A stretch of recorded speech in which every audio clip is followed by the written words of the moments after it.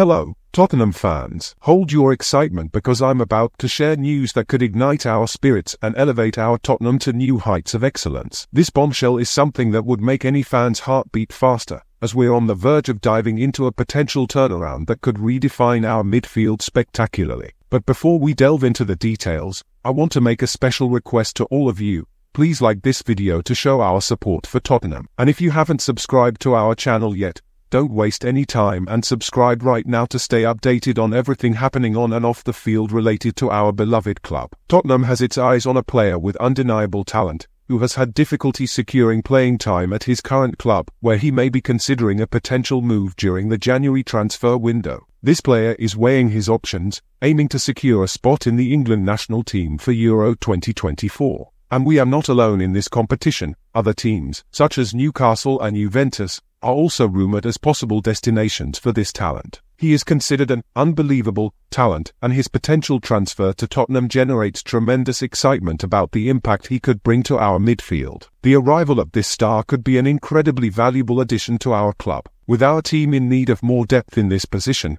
the signing of midfielder Kalvin Phillips from Manchester City would represent a significant step towards our goals. Now, I'd like to hear your opinion. Do you think signing a world-class player like Kalvin Phillips would be a wise choice for our team? Comment below, share your thoughts and expectations.